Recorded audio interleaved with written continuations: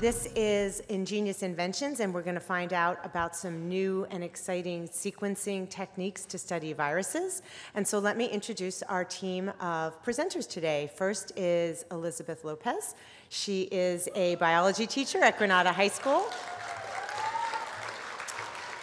And Mrs. Lopez got her master's from Clemson University, and she teaches biology and biotechnology.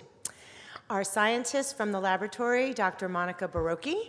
She is a virologist, and she got her degree from Colorado State University, and she's joined by Dr. Jonathan Allen, who's a computer scientist, who received his PhD from Johns Hopkins University. And I know you're all really anxious and excited to hear about our talk. So without further ado, here we go.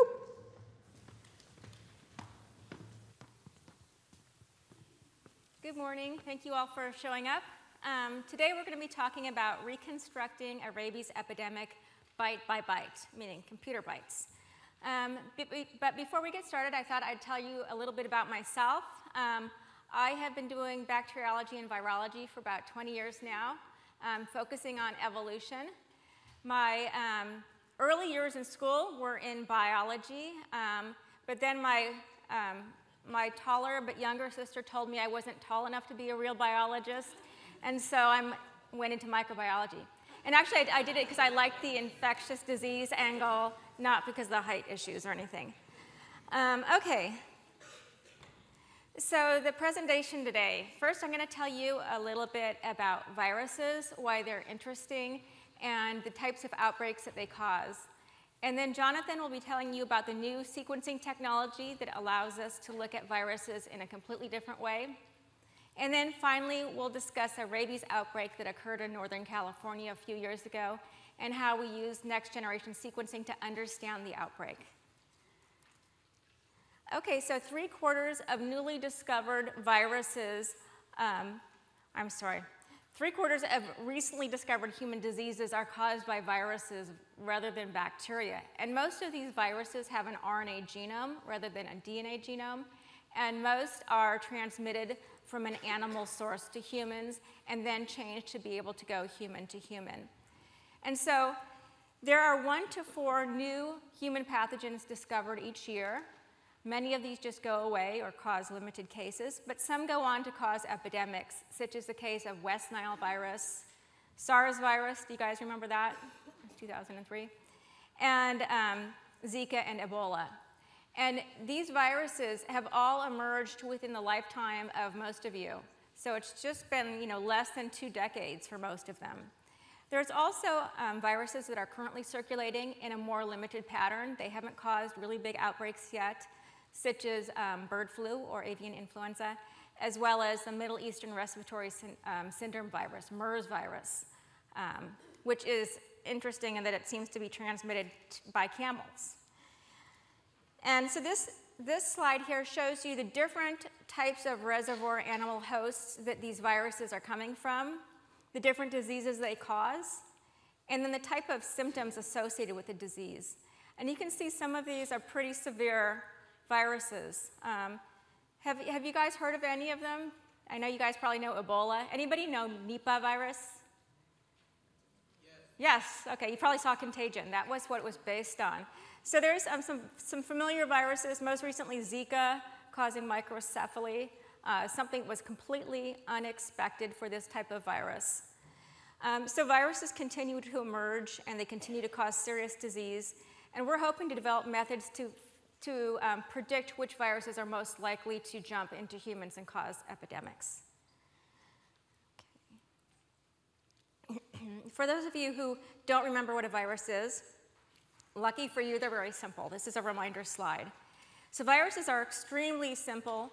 Um, they just consist of bare minimum a nucleic acid. It can be DNA or RNA, as well as a protein coat to protect the amino acid or the um, nucleic acid. And then finally, some viruses, when they exit the cell, they take part of the cell membrane with them. And so that's called an envelope. And in this case, they'd have to protrude their own proteins from the outside of the envelope so they have a way to bind to and enter the host cell. So very simple organisms. The picture there on the right is a picture of the, the viruses budding from the host cell. Okay, and what's so interesting about these organisms or microbes um, is that they're extremely simple, but they can cause very devastating and quite a variety of diseases. Um, they are completely dependent on the host cell to propagate. If you have a virus sitting on a countertop or on the floor, it's not going to be able to grow because there's no living host cell for it to replicate in. So the basic life cycle of a, a virus is it has these outer proteins that allow it to recognize susceptible cells and to enter the cell. The nucleic acid genome, um, or collection of virus genes, is released into the cell, and the virus replicates either in the cytoplasm or the nucleus. And then it uses a host machinery, such as the ribosomes, to make its proteins. It assembles into a new viral particle, and then it either exits the virus by budding through the membrane or it just replicates to the extent that the cell simply bursts. So it's a very, a very simple life cycle, but very effective. Now, RNA, RNA viruses are near and dear to my heart. They are interesting in that they've got very small genomes. Some of them code for as little as 7, 5, 7, 10 proteins in their entire genome, yet they cause very serious diseases and they evade the human immune system and spread to different species and to new geographical areas fairly regularly. So this is a very interesting group of viruses. And this virus, or these viruses, are interesting and um, successful in part because they mutate really quickly. The enzyme that they need to replicate their genome makes lots of mistakes. On average, every time the genome is replicated, there is one mistake. So if you start out with a founding virus, such as little purple virus on the left, and it enters a host and replicates in that host, the, the errors build and build until soon you have a swarm of different genotypic variants. So genomes that vary by amino or by um, nucleotide changes that are related to the founding virus but are genetically distinct. Oftentimes, you have a particular genotype that's really successful, and there will be more of that genotype in the population. So we're talking about populations of viruses inside a host that are genetically slightly different, and they're called, called quasi-species or mutant spectra. Okay, one thing I'm going to be talking about, I mentioned the genome, which is the collection of genes. I also talk about genotypes. So inside the host, there's variants. And we refer to those as genotypes because they're slightly different versions of the original genome. Okay, and so we just got done talking about genetic drift. I'm, yes, and now we're going to play telephone, or at least Liz's kids are, and worry about phonetic drift. All right, good morning. Um, as she said, genetic drift is simply the accumulation of small mutations or small mistakes as species continue to replicate. So we're going to do this by playing a very simple game that I'm sure you have all played at a birthday party at some point, the game of telephone. So as viruses are going to accumulate mutations over time, our phrase as it goes through our group of students is going to accumulate mistakes over time. We'll start off and we'll see what we end up with. Do you know which phrase you are going to use? Yep. Okay, let's go ahead and start telephone going across.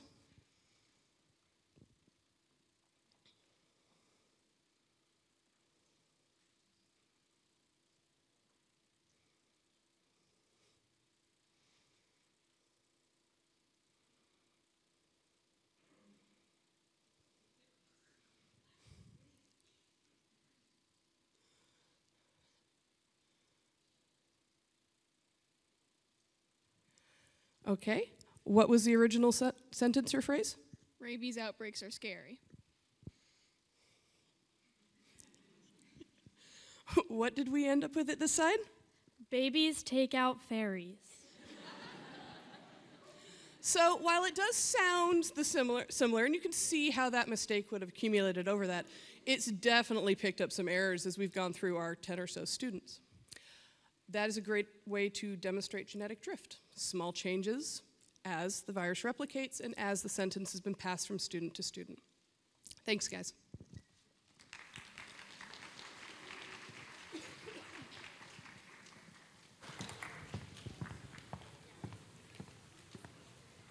Okay, great job, little variants. Um, all right, so RNA viruses exist in these populations we're calling quasi-species because their genomes are all slightly different. Now, what role does that play in disease? So as, as scientists have noticed the quasi-species, they've designed experiments to figure out what role quasi-species play in, in disease manifestation. And one particularly interesting experiment was done about 10 years ago at UCSF, where they were looking at poliovirus. Now, poliovirus has a very small RNA genome, and they were actually working with a mouse model of poliovirus, where if they inoculated the virus into, for example, the leg of the mouse, the virus would replicate and make it to the brain and then kill the, um, kill the mouse. Now, when they did this, they took the virus that made it to the brain and they grew it up in two different types of populations. They grew it up in such a way that it could not mutate that much for one population, and that's shown here on the top of the slide where the red virus is the one that they got from the brain, the genotype present in the brain. And the pink ones are just slight variants, but not a lot of change because of the conditions that they used. The second population allowed the virus to mutate freely, and so you see a much more diverse community of viruses in this um, group or in this um, preparation. So the first experiment, they put the more clonal, um, genetically similar group of viruses into the mouse, the same way they did before, but that mouse was just fine because it could not make the, the, um, the virus that had previously grown in the brain and killed it could not make it to the brain. However, if they put the diverse population in with that really virulent or, or um, pathogenic virus, then that enabled the virus to make it to the brain and to kill the mouse. So this is telling us that the, the quasi-species diversity is essential in some cases to the outcome of the disease, and we should understand um, the evolution process involving the quasi-species to really get an idea of what's happening um, when a disease um, occurs. So previously, we, were, we didn't have the technology to do this that we, at the depth that we needed to. However, new sequencing technology and the computational uh, models that are built around it has now allowed us to do this, um, whereas we, at, at depths that we could not previously do before. Okay, so this is a cartoon of a virus population. And you can see some little pink viruses and you see some blue viruses. Um, the pink viruses are the ones that do really well in the host, and there's more of them because of it. The blue viruses are maybe the newer mutations that haven't really taken off or just are not that fit in that particular host environment. So these viruses exist in large populations um, with a dominant genotype, which is shown in the pink. And that's called the consensus sequence. Now, with the old sequencing technologies, in order to look at the sequence, they would just sample a very small part of the population. And so when they had the genotype, it didn't represent the mutation that was present or the variation that was present in the population. Sometimes they could sample more with some slight variations on the technique, but nothing like we can do with a new genome sequencing Jonathan will be describing. This samples a large part of the population, and then you can start seeing the variation present. Now, these are examples of what the sequencing data looks like, the data output. The traditional sequencing was called Sanger sequencing, and, and, it's still used. It's a very good, precise method. And it gives you data that looks like this. You see peaks that represent the different nucleotides present, and so you just read peak to peak, and it will tell you the nucleotide sequence. Sometimes it captures a little bit of the variation present in the population. If you have two genotypes that are present, you might see overlapping peaks. And that's what you're seeing underneath the arrow there. You're seeing one genotype that has a C at that site and one genotype that has a T at the site. And you can actually visualize the peaks overlapping. But that only happens if that second genotype is pretty common, like above 20%. So again, you're missing most of the variation.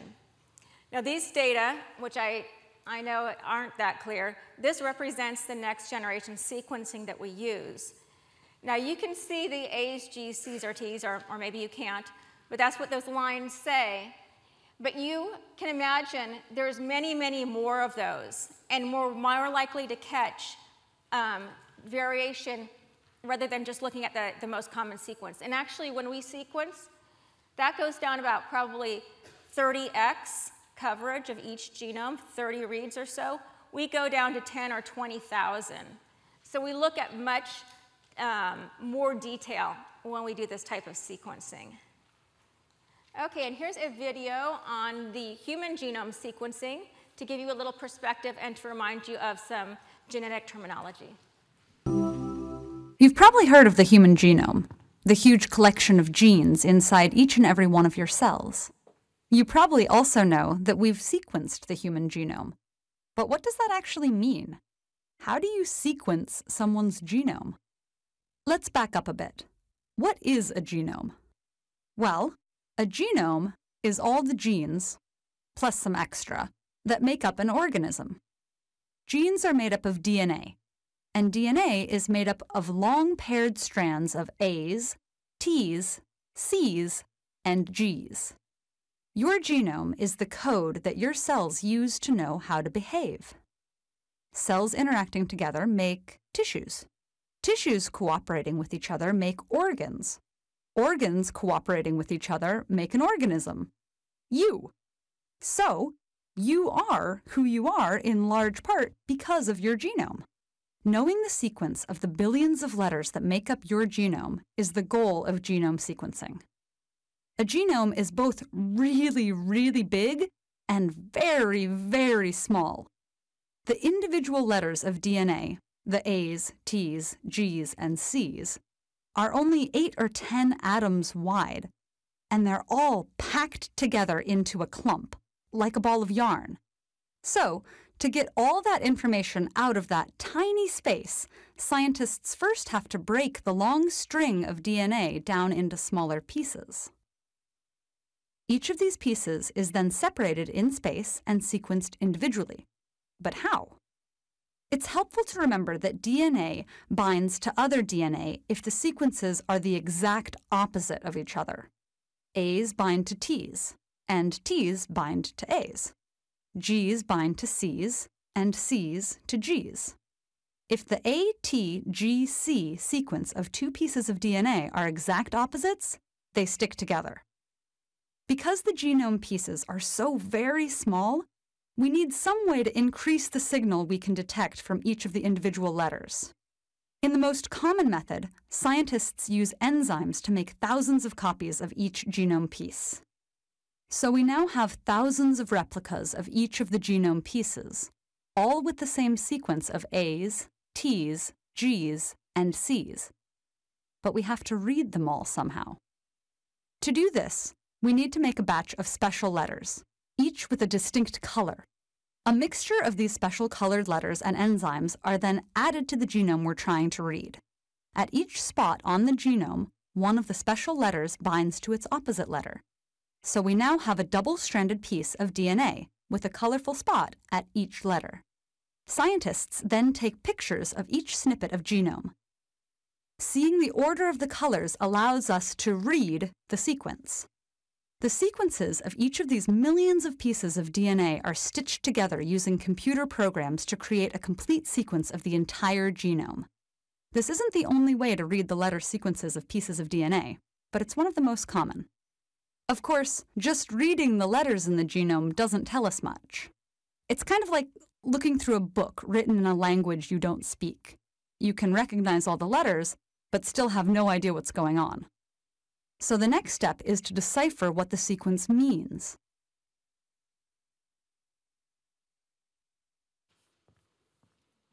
Hello, everybody. So I'm a computer scientist by formal training, um, but what I want to talk a lot now about is more about the sequencing technology. Um, and, and the reason is, as a computer scientist, it's very important to understand the kind of data that we're working with.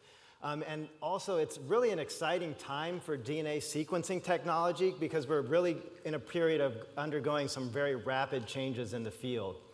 And so what I'm showing here are just sort of the three phases of sequencing technology that uh, sort of are, that, that are taking place. So really starting 40 years ago was the advent of uh, sequencing with Sanger sequencing and was ma the mainstay for over 30 years um, in the field. And this was, you know, the, the type of technology that led to the sequencing of the first human genome. But the kind of sequencing that we're using now that you just saw an introduction to, which is ref we referred to as this next generation sequencing, um, started in about 2005 and is what's really sort of opened up this field for looking at viral evolution in a different way. But in addition to that, there's a lot of new sequencing technology out there that's sort of um, in, in the research field that we also want to keep an eye on. So it's a very active time for development uh, in this area.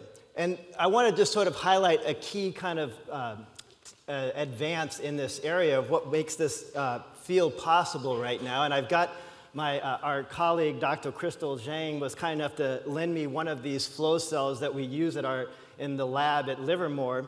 Um, and it's the ability to really to spot millions to billions of genetic fragments on this glass slide that allows you to capture the sequences uh, that, are, uh, that you want to interrogate. So instead of just being able to look at a couple hundred fragments at a time, we're able to actually interrogate on this glass slide, again, uh, hundreds to billions of genetic fragments simultaneously.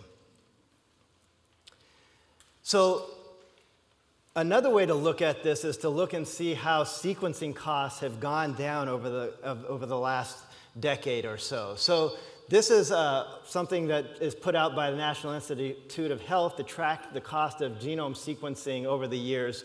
Uh, starting in 2001 with the release of the first human genome, uh, if you were to sequence a human genome in 2001, it would cost about $100 million and take a team of scientists really to do that work.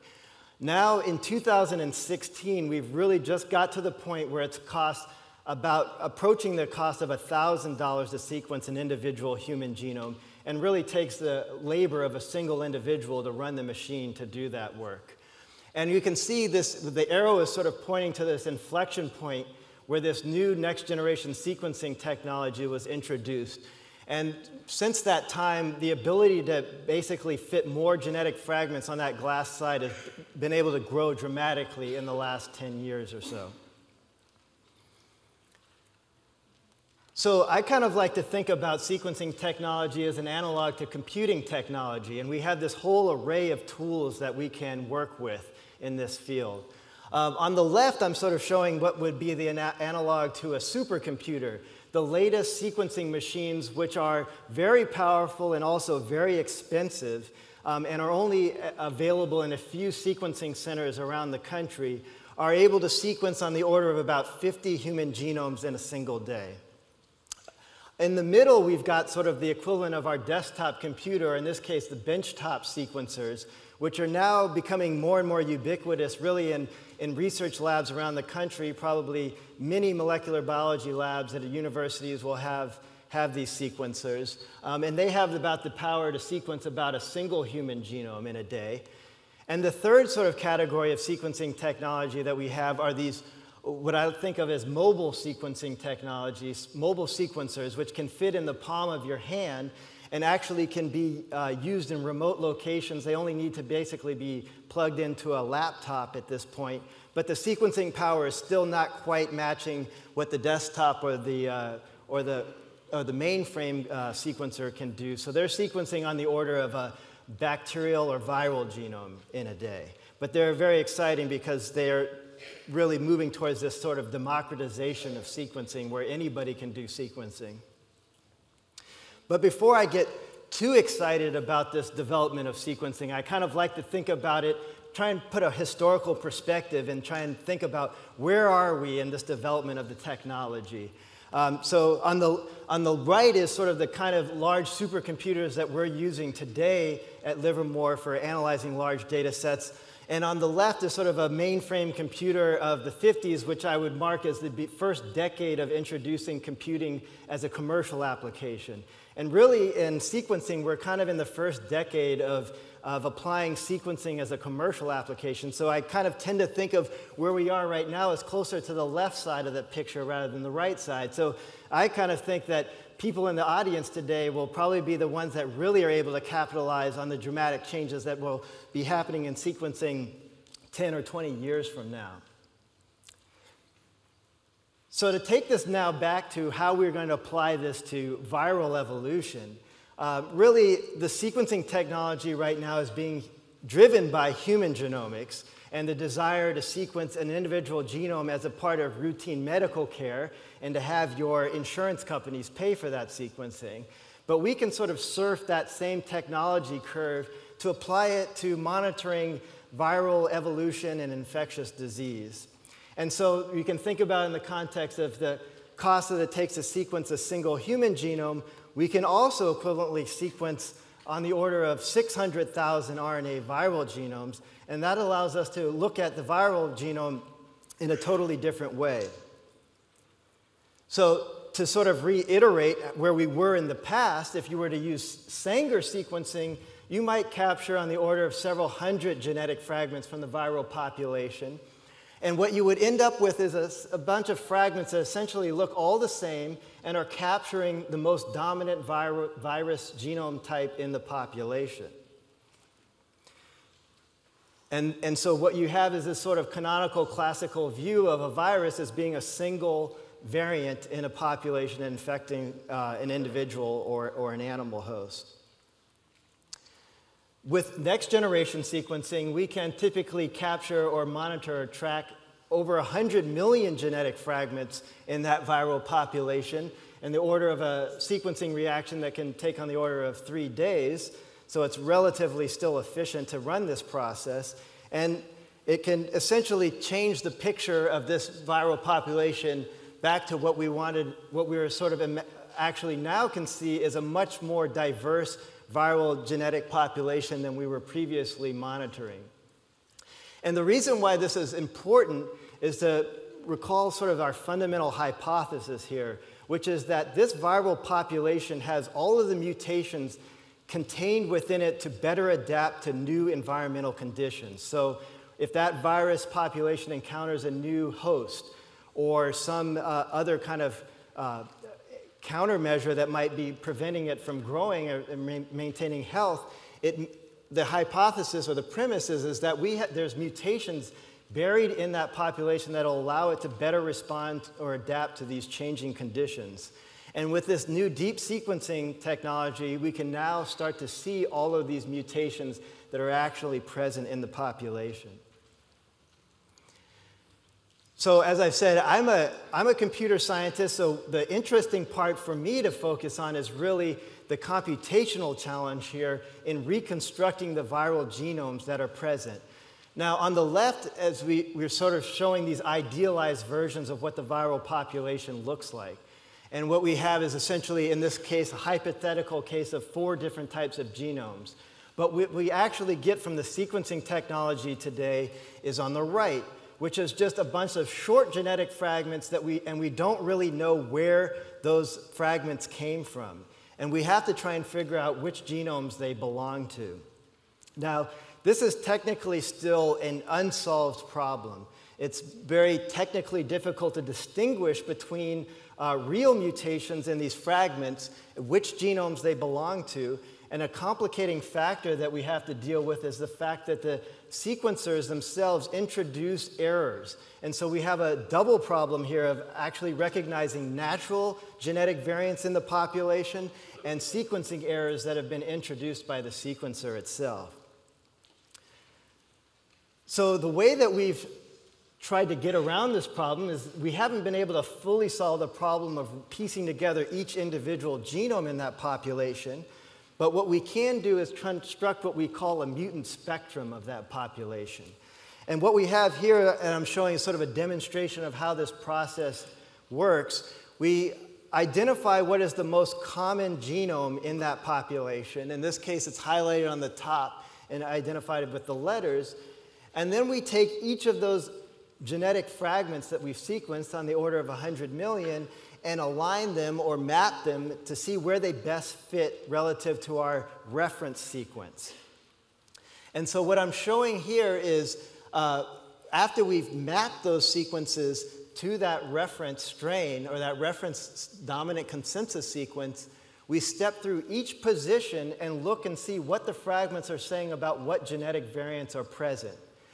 And we have to go through a process to look and see do we have enough evidence in these reads to say that a real mutation is occurring and not something from a random sequencing error. So, in this example, at a position where we see a cytosine as the dominant, we look and see what the reads are saying or what the sequencer fragments are telling us, and we're saying that there's four examples of fragments that are saying that there's a thiamine present in the population. And we, uh, we construct a statistical model to say that we are seeing enough of these alternative fragments to say that there's actually a thiamine present as a rare variant in this population. And this is a fairly computationally expensive process to run through. It can take several hours to do this processing for a single sample uh, running on a fairly expensive computer. And so now we're actually, Liz is going to uh, show us actually how this uh, process is computed using, uh, it, it, using I'd say, the old fashioned human, human labor to do this. Okay, so first off, we have coming out a small snippet of a consensus sequence for rabies. So these guys are going to manage to get this thing unrolled.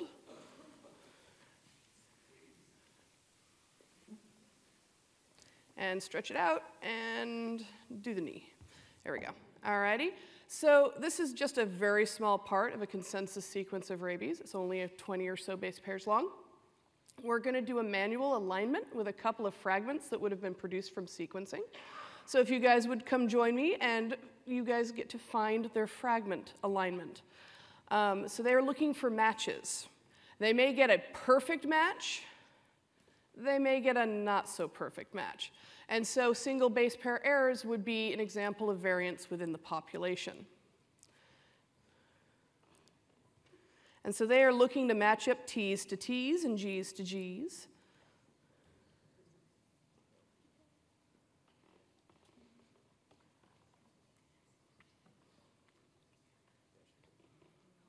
We all found our spot. And there we go. Um, most of them do match up perfectly. We do have a couple of mutations here. We have a T that swapped out for a cytosine. Uh, and there's another one down over there as well. Uh, and they're showing possible variants. One of them is an actual variant, that's found in rabies showing a new quasi-species or a different quasi-species. The other one is truly just a sequencing error. Um, and so the difficulty of identifying which is which we are looking at maybe a double fold or a two layered overlap. Remember, when this is being done on a computer, you're going 10,000 deep. So it gives you a lot more data and a much better idea as to which are actual mutations and which ones are sequencing boo boos. All right, guys, thank you very much.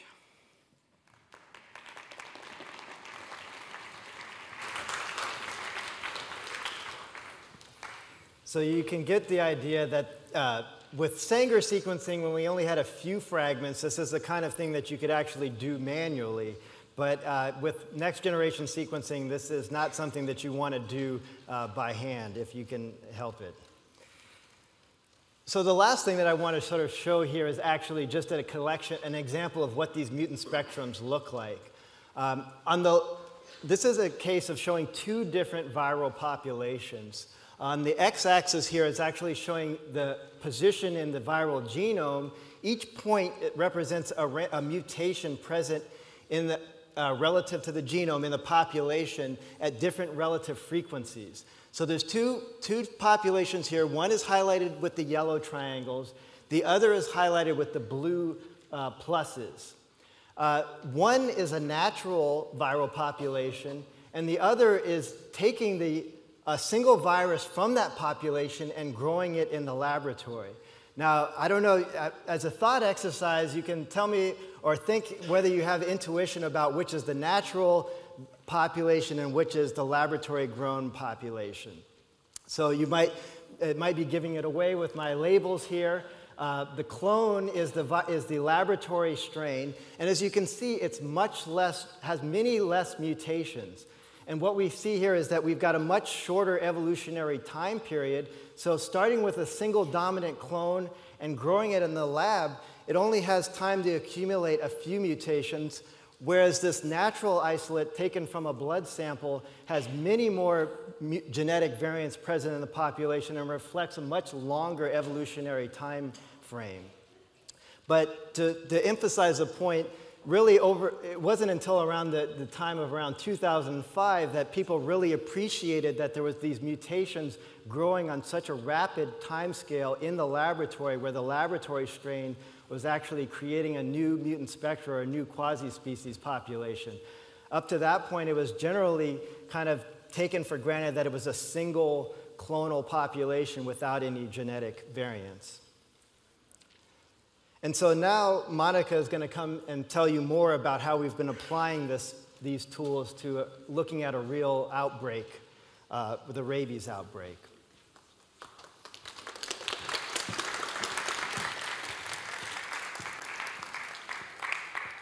Okay, so now that you know a little bit about viruses and the sequencing we use to look at the virus populations, we'll apply this to a real life outbreak.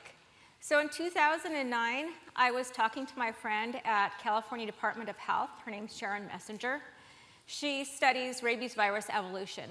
And she happened to mention that there was an outbreak of rabies in Humboldt County, and that it appeared that a, a rabies virus that was normally found in skunks had jumped into the fox population and was now being spread fox to fox. And it was actually a pretty terrifying situation because rabid foxes can be quite aggressive. So it was um, something that um, a naturally occurring outbreak that's nearby that we could get samples for, and we decided to try um, to understand what's happening to the viral populations during this host jump from skunks to foxes. Okay, so before I start, how many people know if rabies can make you very sick? Is that a type of virus that can make you very sick? Yes. yes? Can it ever kill you? Yes. yes. Um, about what percent of the time does it kill an infected person with symptoms? That's close. Now you actually take that and you add like a 92% and you're there. It's, it's very close to 100%. So if you're infected with the virus, once you start showing symptoms, for the most part, your life is over. It's a very, in fact, it is the most deadly virus. So the idea is that when you're exposed to an animal that may be rabid, such as one that's behaving abnormally, maybe it's not usually out at night and now, or during the day and now here it is, or it's you know biting on your leg and you're trying to walk away and it won't let go. So these times are when you go to your doctor and they can give you shots and medicine. They'll make sure that you don't get the rabies virus because, because by the time you are showing symptoms, then there isn't really much they can do. All right, so rabies is an important virus. It kills about 59,000 people a year. Most of these people are in developing countries, and the animals around them are not vaccinated. We're lucky we've got good vaccines that we give our pet dogs, for example, that for the most part protects us from being exposed to rabies um, frequently. So there's bat rabies, which I'm sure you've heard of, but there's also different non-bat terrestrial mammals that serve as reservoirs or, or populations that the virus can be maintained in. And that's what this slide is showing. This is showing that in a number of parts of the country, skunks are the reservoir species. On the east, it's raccoons. So you can see there's a few different skunk populations, and they're shown in different colors. And that's because the rabies virus that are in skunks in California are not genetically identical to the ones in Texas. So they have variants according to the geographic location and the host. And so if you were to, okay, if, if a person were to come down with rabies and passed away, they could take a piece of the sequence from the rabies virus in the brain, sequence it, and tell you, oh, this person was probably exposed to raccoons in New York, for example. Okay, it's, so you can tell by the sequence, the host usually, or the, um, and the location. Okay, so you can see in California we have skunk rabies, striped skunks. The rabies circulates in these populations, and there are um, occasional house jumps.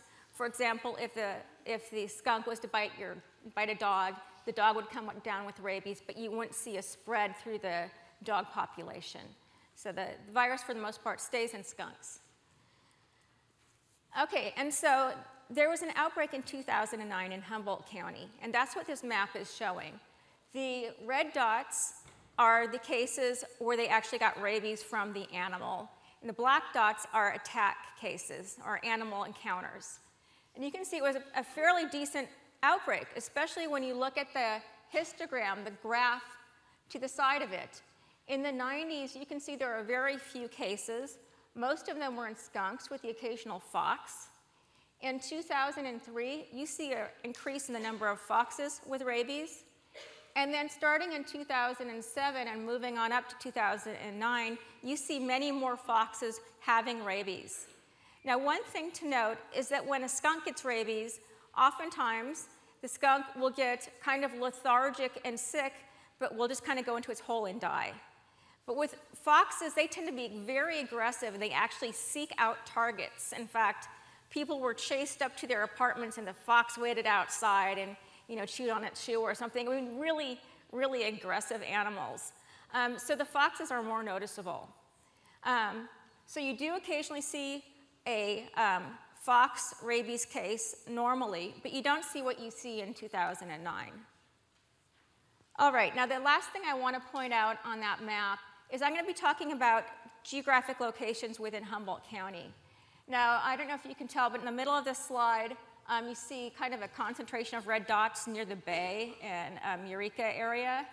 Um, that's kind of the cutoff. We had kind of saw a northern group and a southern group, just so kind of orientate you. Um, and often the virus seemed to start down south and kind of move on up, um, according to dates. Okay, so Sharon was able to get us samples um, from the health department of brains of animals that had rabies from this area. We got a number of cases or a number of samples, um, about 40 of them from 2009 outbreak, but we also got some historical samples from 2003 and 1995 for comparison.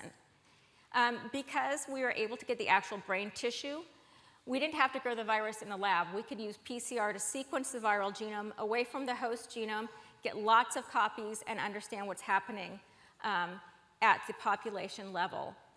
If you grow a virus in the lab, you change the genome a little bit. So the best way is to get lots of naturally infected samples. And so we really hit a gold mine with this particular outbreak. Um, so we do some molecular biology, we create lots of sequence, and then we dump it all on Jonathan, who makes sense of it for us. So he's doing all those alignments on 45 different samples in this case. So not a little bit of work. Okay, so I'm going to be showing the data in a couple different ways, and I thought I'd introduce that before I showed you the data. The first thing uh, you do is you look at the consensus most common sequence, and you want to relate one sequence to another, I'm sorry, one sample to another. And to do this, we do something called um, phylogeny. We build a phylogenetic tree, which is a lot like a, um, a family tree. So you see branches extending out, and on the end of the branches, you see letters there. And those are the individuals that we're comparing. And this is just a, an example. Um, and you can see each of those individuals have different sequences. Um, in the case of A and B, this region is identical, and those two group together. With C, you see a mutation, so it's similar but not exact, and it's clustered next to it, and so on. So you can see that F, G, and H have more mutations. Um, they don't have that T at the beginning, for example, and they group together. So this is just a way of looking at um, samples that are evolutionarily related and understanding which ones are more similar and which ones are more diverse or, or more different. Okay. The other thing we do is we look at a few different types of data. So if a virus doesn't mutate that much, or you're just looking at a part that hasn't changed that much, you can get a lot of information from the nucleotide sequence. But if you're looking at a virus that mutates a lot and you're looking at the whole genome, pretty soon you have so many mutations to look at you don't even know where to start. So what we do is we try to figure out which mutations are likely to change the way the virus behaves. And to do that, we focus on the amino acid changes.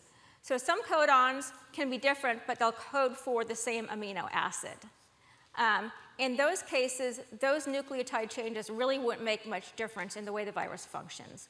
But some of them do change the amino acid that's coded for, and this can change the way the protein um, interacts with other proteins, for example. Okay, so we look at amino acid changes, and then we look at the deep sequence data, and that's what's shown here, but we look at much, much more of it. Okay, so before I start a, a um, research project, I usually have in my mind what I imagine the data is going to look like. I mean, you are doing a, a project because you have a hypothesis, and so the data is going to look like this. And when you're doing research, most of the time you're wrong. I mean, it's very humbling to be a researcher because you just realize how many times and how often you are wrong, and you've got to adjust. And so this is what um, the data I thought would look like we have a skunk virus that has now moved into the fox population. It is going fox to fox. This hasn't happened before, so it must be different genetically, right? So I thought the fox samples would cluster together and the skunk samples would cluster together, and then you have some influence of the date when the virus um, was circulating. Now here is the actual data that we got. Um, first of all, we've got a northern cluster and a southern cluster. So clustered by a geographic region. And then you can also see it cluster according to date, whether it was 2009, 2003, or 1995. But the skunks are in white text. Do you see them clustering together? No, no, they're mixed in with the foxes, so there goes my theory. Um, but what we did see was that in the northern cluster, and I actually took out 20 foxes from that cluster and left them off this graph because we didn't have enough space. We saw lots and lots of foxes in the north with the virus, and we saw much fewer in the south. So as we looked at the data, we realized maybe the host jump didn't occur until later in the outbreak, and then it was mainly manifested in the northern section of the area, the outbreak area. And so that was our new hypothesis. And then when we looked to see if there were any amino acids changes that distinguished that group in the north, we found two changes. And they both occurred on the protein on the surface of the virus. And that protein is responsible for negotiating binding to the host cell and entering the host cell. So that made sense. That gave us some support for our hypothesis. And then finally, we looked at the um, quasi-species data, the unique data that we had gathered. And this is an illustration of what we found. Um, on the left, you're seeing lots of little blue viruses, and those represent the genotype that was present in 1995. Now you see one pink virus, and that virus represents the genotype that emerged to cause the outbreak. And that actually, for the most part, emerged in 2003 and changed just a little bit to cause the big outbreak, from what we could tell. But because that genotype was already present in our 1995 samples, that implied that that genotype was there, found a new host, and expanded and did much better in that new host. So you can see the promise of an outbreak genotype, the trace of it in 1995 already, and then when you go to 2003, 2009 samples, you see that that genotype took off, but there's still remnants of what was present in 1995. So that's called molecular memory, and that could be important if you're doing a forensic study. So that was just absolutely fascinating. And this is a repeat of the same type of data, just a little bit more specific. So putting this on the tree, if you look at the blue square there on the left, that's the 1995 amino acid changes, or a subset of them that we found. At nucleotide 308, we saw a change from leucine, which was present at, 99%. I'm sorry, not a change. We saw leucine at 99% there, and phenylalanine at 308 in about 1%. So dominant amino acid was leucine by far, trace of phenylalanine. If you look at that same site in the 2003 samples, 308, you now see phenylalanine has taken over and just a trace of leucine. And we saw that at several different sites in the genome where the amino acid that characterized the outbreak genotype was already present in that population. So in this case, we had dominant amino acids that became rare and then rare amino acids that became dominant. We saw that inversion. And that's really what characterized the outbreak for us. Now, this is one of the first studies we did using this type of data, and it was really interesting to see how the consensus sequence really didn't reveal how the outbreak occurred until you started looking really deep into the population and used more of the data. So we found that using next generation sequencing data gave us much higher resolution and helped us understand the outbreak. Okay, so going back to the beginning, what we would like to do is to build the capabilities to be able to predict an outbreak before it happens. So we can put measures in place. This kind of work is the first step to doing that. You need to be able to know what's circulating, know what's out there, know what changes in the genome could change, could influence the outcome of a infection or a um, small outbreak, might allow the virus to become more widespread, and in that way you can prepare. So the next genome, genome sequencing combined with very important things like understanding the basic biology of the virus, understanding how the population of humans might react. You know, do they go to the doctor when they see this or not? That was important for the Ebola outbreak. All these interdisciplinary um, people must come together and start building the capabilities for predictive biology. But it will involve next generation sequencing technology because it does help us to understand the mechanisms of virus evolution. Okay, and these are the people who helped generate some of this data. You see scientists from the California Department of Health, as well as bioinformaticists and molecular and virology um, experts. Okay, and I, this, I want to thank you for your attention, and we'll take any questions.